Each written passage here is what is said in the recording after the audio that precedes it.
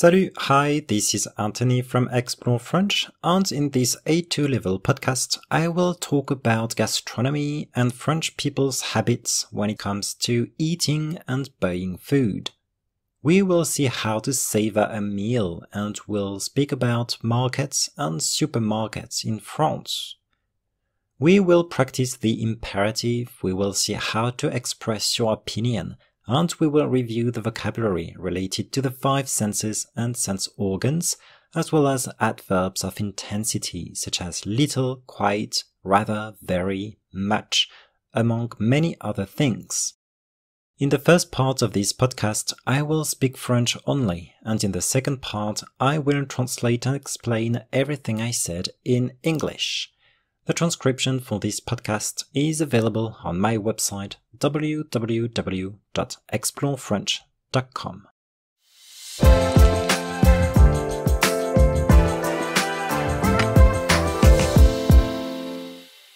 La France est connue pour sa gastronomie. La gastronomie, c'est l'art de bien manger.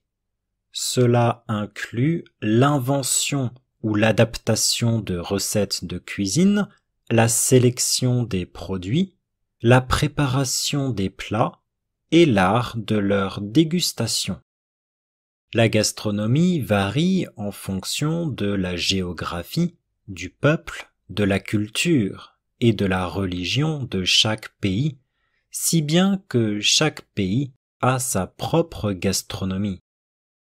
Pour apprendre la gastronomie et la cuisine française, il existe de prestigieuses écoles telles que l'école Ferrandi, l'école du Cordon Bleu et l'Institut Paul Bocuse. Les étudiants viennent du monde entier pour étudier la gastronomie française dans ces écoles.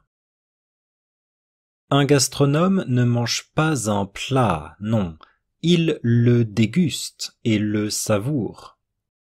Déguster un plat, c'est prendre le temps de l'apprécier.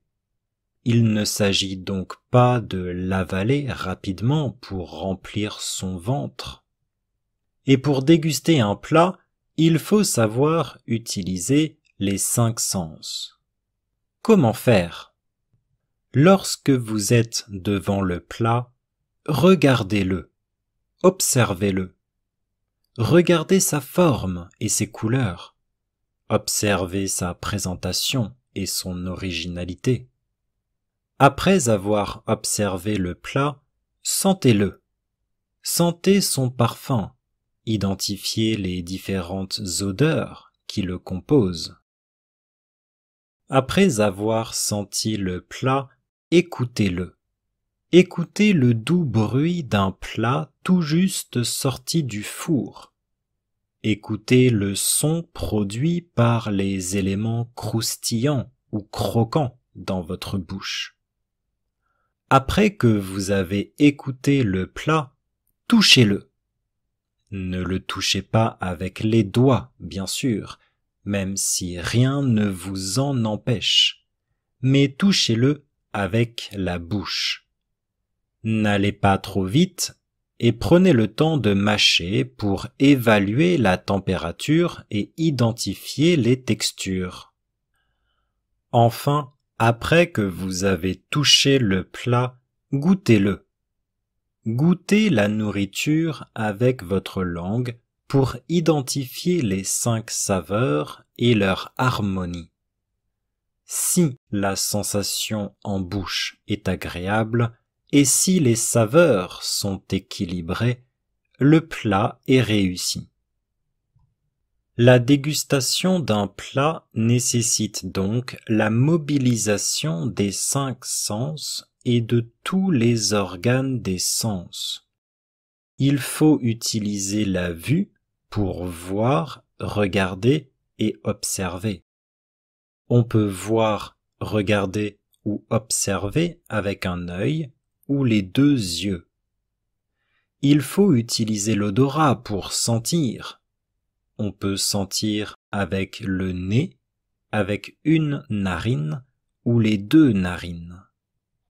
Il faut aussi utiliser l'ouïe pour entendre et écouter. on peut entendre ou écouter avec une oreille ou les deux oreilles. On doit utiliser le toucher pour toucher. On peut toucher avec la peau, les mains ou la bouche, par exemple. On doit enfin utiliser le goût pour goûter. On goûte avec la langue pour définir les saveurs sucrées, salées, acides, amères. Pour connaître les textures mou, croustillant, moelleux, dur. Pour déterminer la température glacé, froid, tiède, chaud, brûlant. Et pour juger le goût équilibré, déséquilibré, agréable, désagréable, etc. Bien sûr, tous les Français ne sont pas gastronomes. Alors, quelles sont les habitudes des Français à table au quotidien? En semaine, les Français restent entre 15 minutes et 30 minutes à table. Un repas en famille, le dimanche ou un jour de fête, peut durer plusieurs heures, voire toute l'après-midi. Dans ce cas, la plupart des Français préparent un menu spécial. À table, les Français mangent généralement du pain et boivent du vin. Avec des invités, on peut prendre un apéritif avant de passer à table. Par exemple, un verre d'alcool avec des cacahuètes, des bretzels et des olives. Puis on sert les plats dans l'ordre suivant. Entrée, plat principal, fromage et dessert. La table est aussi souvent décorée lorsqu'on reçoit des invités. Les Français consomment beaucoup de produits surgelés. Les produits surgelés sont des produits qu'on peut congeler dans un congélateur à la maison. Cela permet de les conserver plus longtemps. Les Français consomment surtout des légumes, des poissons et des fruits de mer surgelés. Plus de la moitié des Français mangent des surgelés plusieurs fois par mois, voire tous les jours. En France, il existe des magasins spécialisés dans la vente de produits surgelés comme Picard.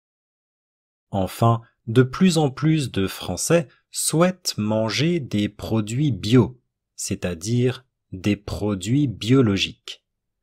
Là aussi, il existe des magasins spécialisés dans l'alimentation bio tels que Naturalia, Biocoop ou La Vie Claire. Les produits y sont toutefois généralement plus chers. Je pense que les Français font de plus en plus leurs courses dans les supermarchés et les hypermarchés, aussi appelés grandes surfaces. Je crois que les chaînes les plus connues de supermarchés sont Casino, Monoprix, Franprix, Intermarché, Leclerc et Lidl. Les grandes surfaces les plus connues sont probablement Carrefour et Auchan. Dans ces magasins, on trouve de nombreux rayons.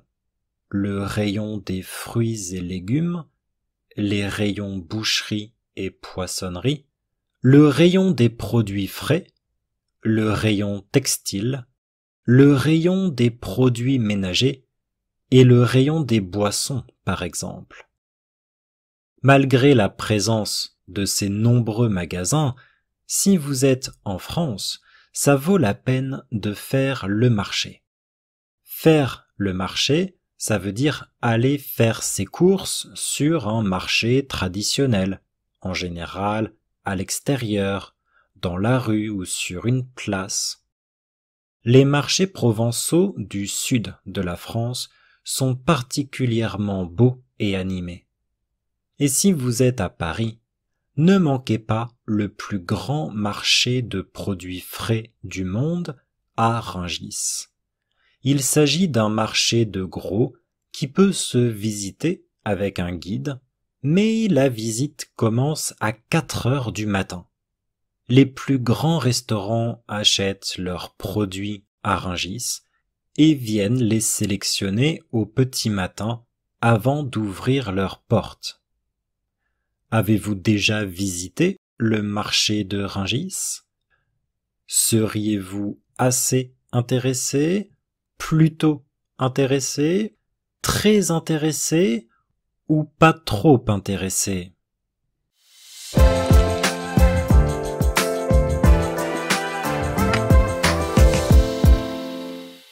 Okay, let's try to translate this in English now. La France est connue. France is famous. Pour sa gastronomie. For its gastronomy. Être connu pour quelque chose.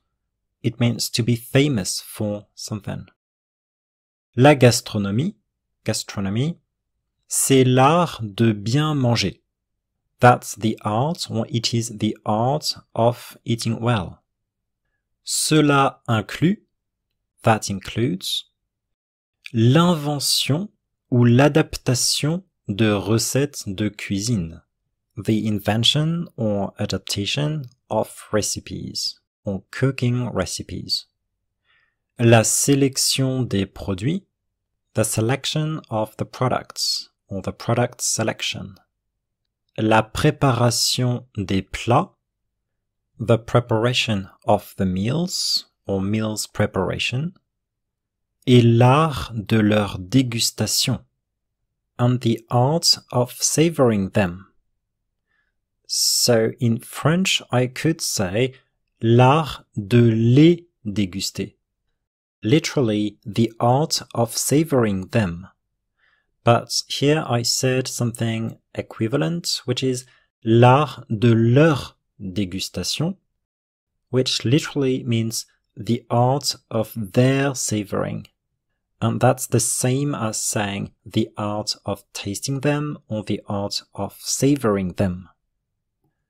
La gastronomie varie en fonction de la géographie. Gastronomy varies depending on, en fonction de, depending on something, en fonction de la géographie, depending on the geography, du peuple, the people, de la culture, the culture, et de la religion, and the religion, de chaque pays, of each country, si bien que, in such a way that chaque pays a sa propre gastronomie. Each country has its own gastronomy. Chaque means each. Chaque pays, each country. Propre means own. Sa propre gastronomie, its own gastronomy. Pour apprendre la gastronomie et la cuisine française.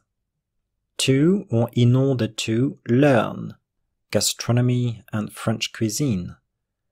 Il existe de prestigieuses écoles. There exist prestigious schools telles que, such as, l'école Ferrandi, the Ferrandi School, l'école du Cordon Bleu, the Cordon Bleu School, et l'Institut Paul Bocuse, the Paul Bocuse Institute. Les étudiants, students, viennent du monde entier. Le monde entier means the whole world, literally the entire world. Les étudiants viennent du monde entier Students come from the whole world. Pour étudier. To study or in order to study. La gastronomie française. French gastronomy. Dans ces écoles. In those schools. Un gastronome. A gastronome or a gourmet. so this refers to someone who knows gastronomy. Un gastronome ne mange pas un plat, non. A gourmet doesn't eat a meal, no. Il le déguste et le savoure. He tastes it and savor it.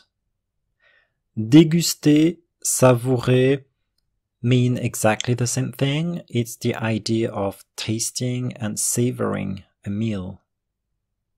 Déguster un plat, c'est prendre le temps de l'apprécier. Déguster un plat, so savoring a meal, c'est prendre le temps de l'apprécier. It's about, that's all about, taking the time to enjoy it. Apprécier means both to appreciate and to enjoy. In this context, it's better to say to enjoy. Apprécier un plat, to enjoy a meal. Il ne s'agit donc pas. It is then not about. Donc means then. Il s'agit de. It is about. Il ne s'agit pas de. It is not about. Il ne s'agit donc pas de. It is then not about. L'avaler rapidement. Swallowing it quickly. Pour remplir son ventre. To fill your stomach. Avaler means to swallow. Remplir means to fill. Le ventre the stomach il ne s'agit donc pas de l'avaler rapidement pour remplir son ventre. It is then not all about swallowing it quickly to fill your stomach.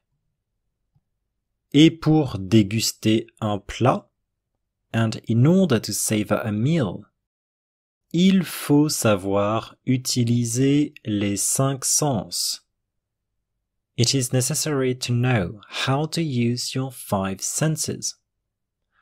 Il faut means it is necessary to, or you have to, you must.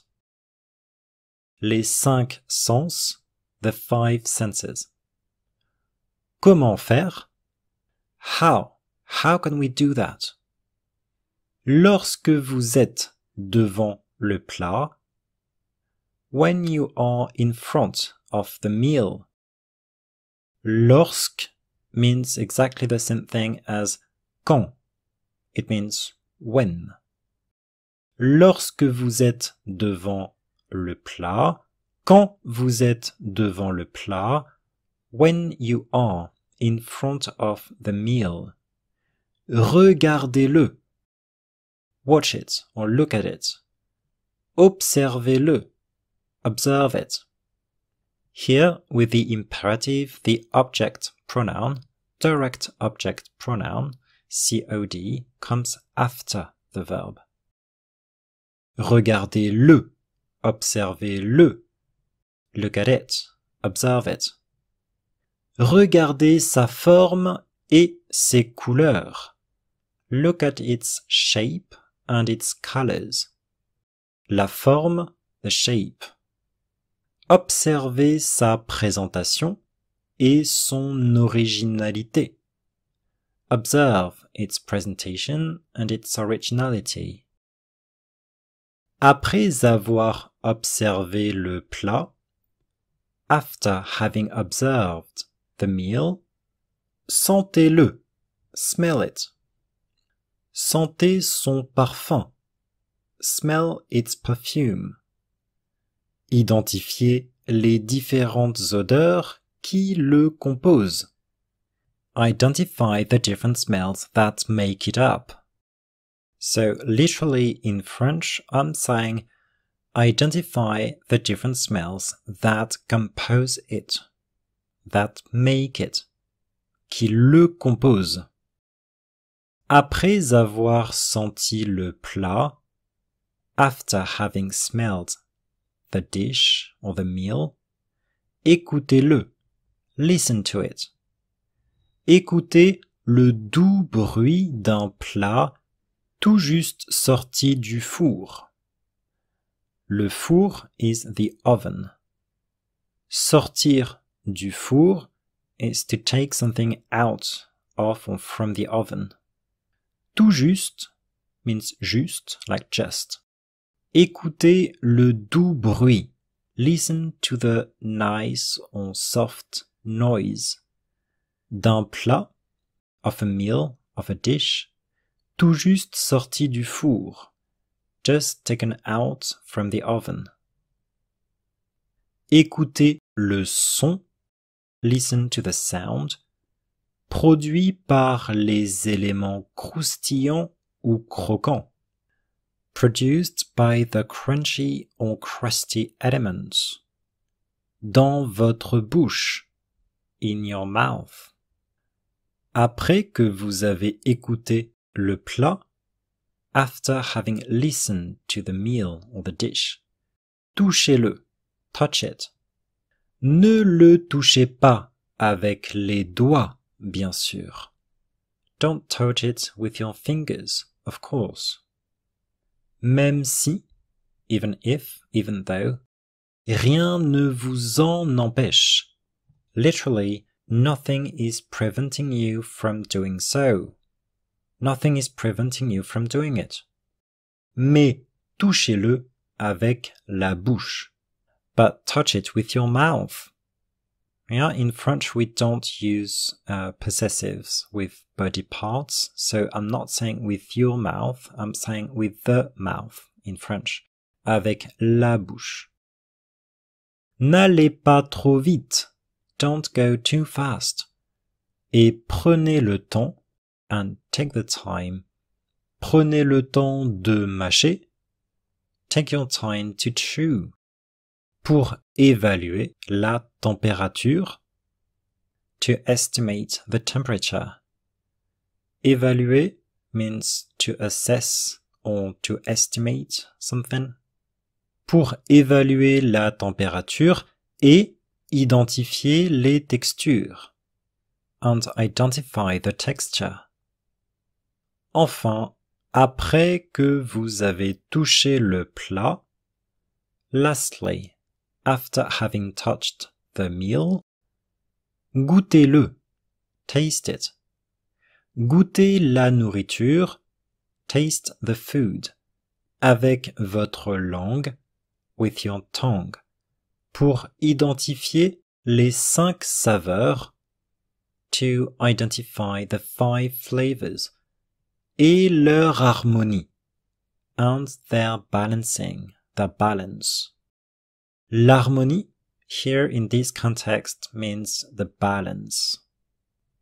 Si la sensation en bouche est agréable, if the feeling in mouth, in your mouth, is agreeable, et si les saveurs sont équilibrées, and if the flavors are balanced, le plat est réussi. The meal is successful. Être réussi means to be successful.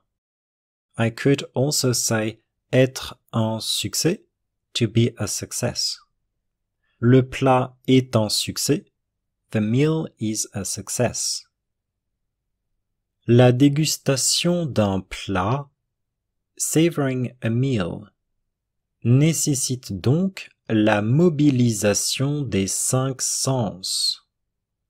La mobilisation, I could say l'utilisation, it means the use.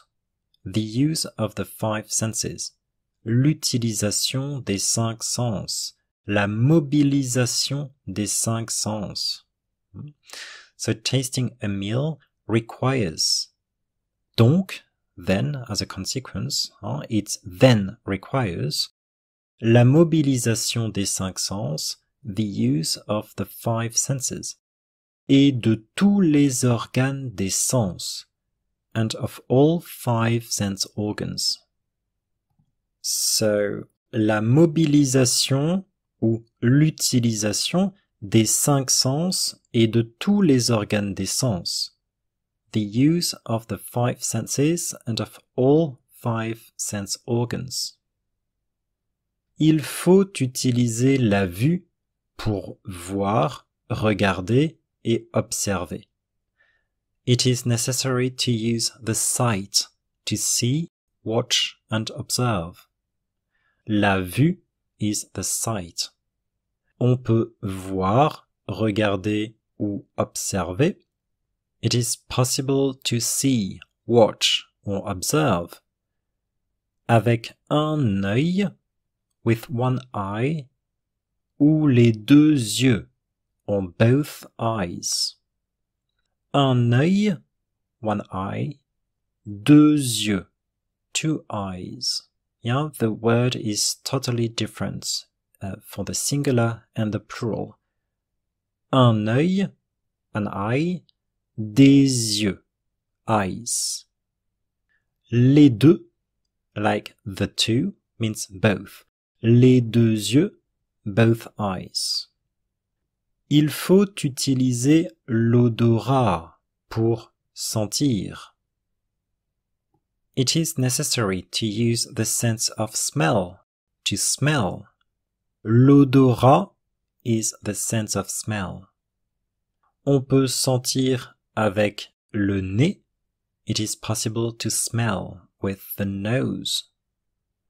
Avec une narine, with one nostril, ou les deux narines, on both nostrils. Il faut aussi utiliser l'ouïe it is also necessary to use hearing pour entendre et écouter. To hear and listen. On peut entendre ou écouter. It is possible to hear or to listen. Avec une oreille, with one ear, ou les deux oreilles, on both ears on doit utiliser le toucher pour toucher. It is necessary to use the sense of touch in order to touch. Le toucher is the sense of touch. On peut toucher avec la peau. It is possible to touch with the skin, les mains ou la bouche, par exemple. The hands or the mouth, for instance. Une main is a hand. On doit enfin utiliser le goût pour goûter. Lastly, it is necessary to use taste in order to taste. Le goût is the sense of taste or taste. On goûte avec la langue we taste or people taste with their tongue. Pour définir les saveurs. Définir means to define or to determine. Définir les saveurs, to define or to determine the flavors. Sucré, sweet. Salé, salty. Acide, sour amer, bitter. Pour connaître les textures. To know in order to know the texture. Mou, soft. Croustillant, crusty or crunchy. Moelleux, smooth. Dur, hard. Pour déterminer la température. To determine or in order to determine the temperature. Glacé, frozen, freezing or iced. Froid, cold. Tiède, warm. Chaud, hot. Brûlant, burning hot. Brûlant comes from the verb brûler, to burn. Brûlant means burning hot, very, very hot. et pour juger le goût, and to judge or in order to judge the taste.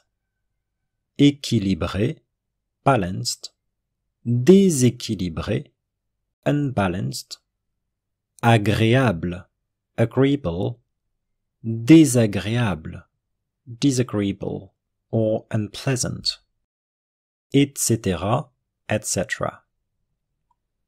Bien sûr, of course, tous les Français ne sont pas gastronomes. All French people are not gourmet.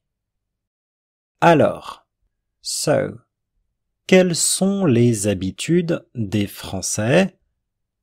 Which or what are the habits of French people? What are French people's habits? À table, when eating, au quotidien, in their daily life. Être à table, literally it means to be at the table. Basically it means to be ready to eat. It can be breakfast, lunch or dinner. Être à table, it's to be sitting at the table, to be sitting and ready to eat. We also say passer à table like to sit down to lunch or to sit down to dinner. And au quotidien means in one's daily life. Quelles sont les habitudes des Français? Which are or what are French people's habits? À table au quotidien, when eating in their daily life. En semaine, during the week, les Français restent, French people stay or remain, entre 15 minutes et 30 minutes à table, between 15 minutes and 30 minutes eating. Rester à table is like literally to stay or to remain at the table for eating. So, rester à table pendant 15 minutes. So to stay or to remain at the table for 15 minutes, this actually means to eat for 15 minutes. So, en semaine, during the week, on weekdays, les Français restent entre 15 minutes et 30 minutes à table. This basically means French people take between 15 and 30 minutes to eat, or they eat for 15 to 30 minutes. Un repas en famille le dimanche ou un jour de fête, on a Sunday or on a holiday. Un jour de fête is a holiday or a day of celebration. Peut durer, can last, Durer means to last. Plusieurs heures. Several hours. Voir. Voir means or even. Voir toute l'après-midi or even the whole afternoon. Dans ce cas, in that case, la plupart des Français, most French people, préparent un menu spécial prepare a special menu. À table. So when people are eating, yeah? À table means at the table. It means when people are eating. Les Français mangent généralement. French people usually eat du pain, bread, et boivent du vin, and drink wine. Les Français mangent généralement du pain et boivent du vin. French people usually eat bread and drink wine. Généralement means usually or in general. Avec des invités, with guests, on peut prendre un apéritif. It is possible to have an aperitif avant de passer à table. Before eating. Par exemple, for example, un verre d'alcool, a glass of alcohol, avec des cacahuètes, with peanuts, des bretzels, pretzel, et des olives, and olives.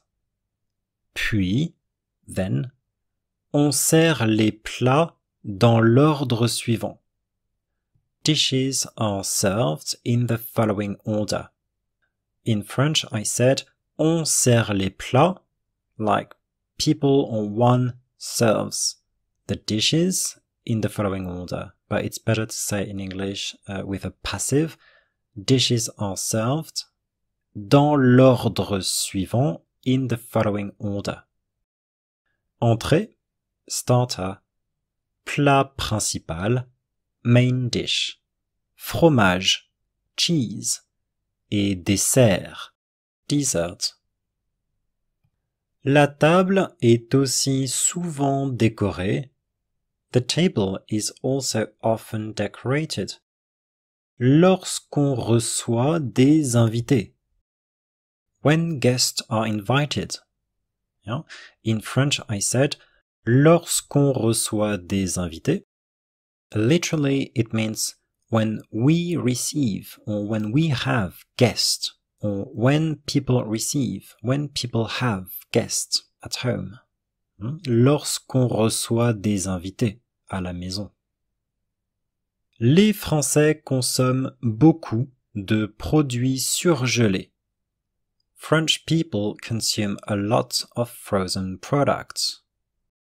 Les produits surgelés, frozen products, sont des produits qu'on peut congeler, are products that we can freeze or deep freeze, dans un congélateur, in a freezer, à la maison, at home. Cela permet de les conserver plus longtemps. Cela permet de, literally it means that allows to, but it actually means something like it, it's making it possible to. Conserver means to keep or to keep fresh.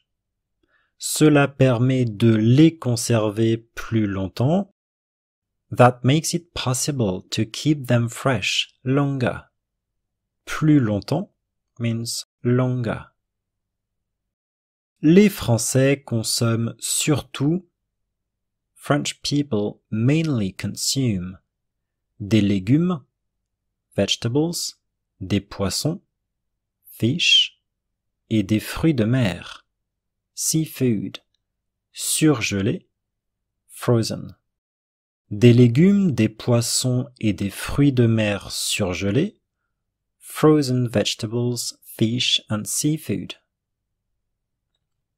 Plus de la moitié des Français, literally more than half of the French, the French people, mangent des surgelés, eat frozen food, plusieurs fois par mois several times a month or per month, voire tous les jours, or even every day.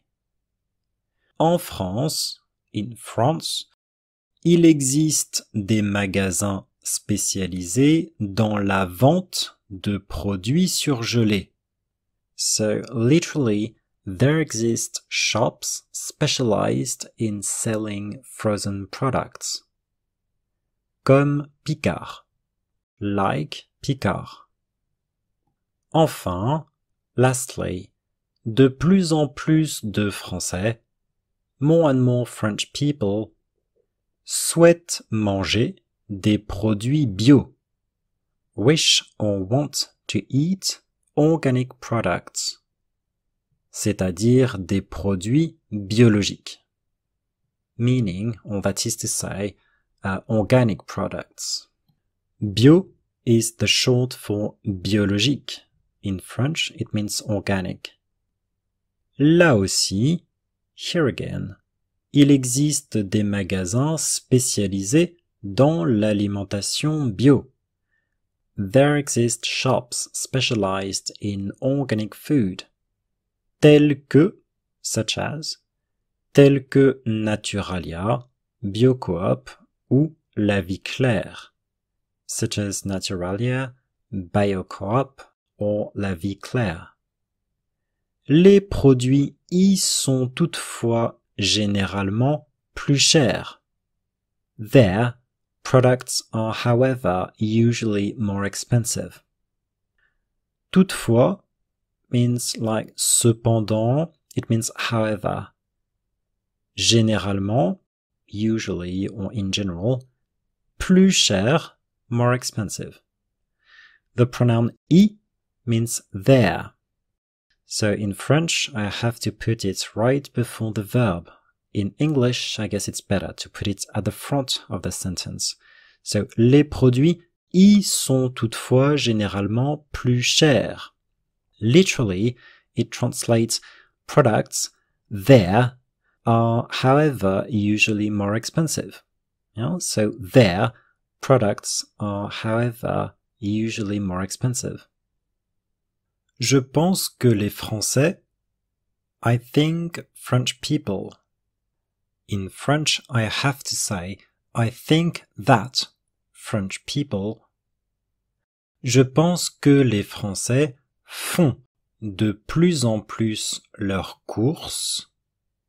I think that French people do their shopping or do their grocery shopping more and more dans les supermarchés, in supermarkets, et les hypermarchés, and hypermarkets, aussi appelés grandes surfaces, also called superstores. Une grande surface refers to a hypermarket over 400 square meters big. Faire les courses means to do the shopping, to do the grocery shopping, or to do food shopping. Faire les courses means that you're going to buy food or products for your house. Je crois que, I believe that. Je crois que les chaînes les plus connues de supermarchés, I believe the most famous supermarket chains sont, are, Casino, Monoprix, Franprix, Intermarché, Leclerc et Lidl and Lidl. Les grandes surfaces, superstores ou hypermarkets, les grandes surfaces les plus connues, the most famous hypermarkets, sont probablement, probably are, Carrefour et Auchan. Carrefour and Auchan. Dans ces magasins, in those shops or in those stores, on trouve de nombreux rayons. Here, on trouve, literally, one finds, or it's possible to find, or people find. Basically, it's another way to say there are. Il y a. There are. On trouve de nombreux rayons. It's like il y a de nombreux rayons. There are many departments or sections. Nombreux means numerous or several, many. Le rayon des fruits et légumes. Fruit and vegetable section. Les rayons boucherie et poissonnerie meat and fish sections. Le rayon des produits frais, fresh products section. Le rayon textile, textile section. Le rayon des produits ménagers, cleaning products section. Et le rayon des boissons, and drink section. Par exemple, for example. Malgré la présence de ces nombreux magasins, in spite of the presence or the existence of those many shops or those numerous stores, malgré means in spite of. Si vous êtes en France, if you are in France, ça vaut la peine it is worth or it is worth it to do something. ça vaut la peine de faire le marché. It's worth it to go on a market. Faire le marché, literally to do the market. Ça veut dire, it means, or that means, aller faire ses courses sur un marché traditionnel. To go do your shopping, your food shopping or your grocery shopping to a traditional market. En général, à l'extérieur. Usually outside or outdoors. Dans la rue ou sur une place. On the street or on a square. Une place, in French, is a square. If you want to say a place, in French, un lieu ou un endroit. Les marchés provençaux du sud de la France, Provençal markets in southern France or in the south of France, sont particulièrement beaux et animés, are particularly beautiful and lively or bustling. Et si vous êtes à Paris, and if you are in Paris, ne manquez pas, don't miss, ne manquez pas le plus grand marché de produits frais du monde, the biggest market of fresh products in the world, à Rungis, in Rungis.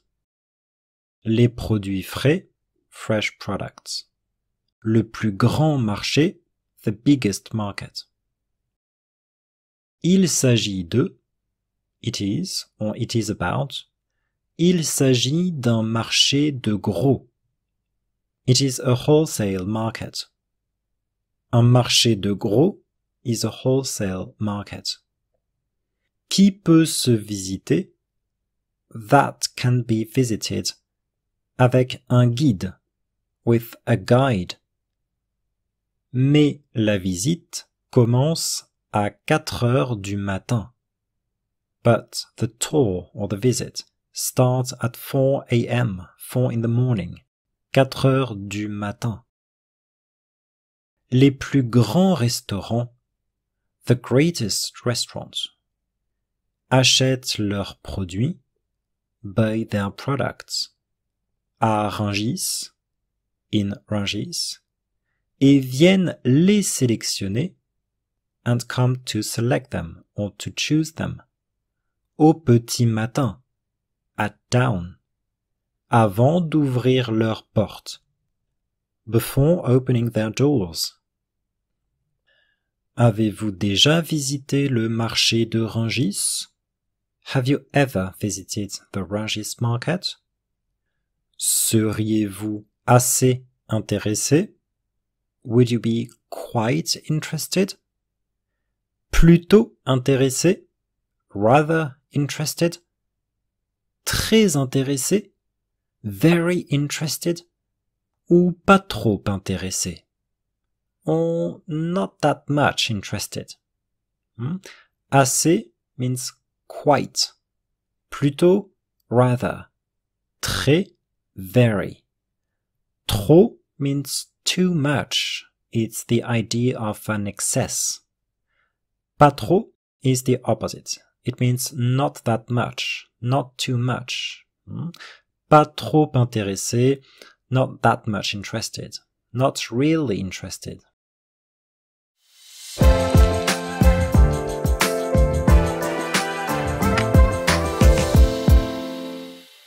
Okay, that's all for this podcast. Thank you for listening. I hope you enjoyed it. And if you want to get hold of the transcription for this podcast, please visit my website www.explorefrench.com.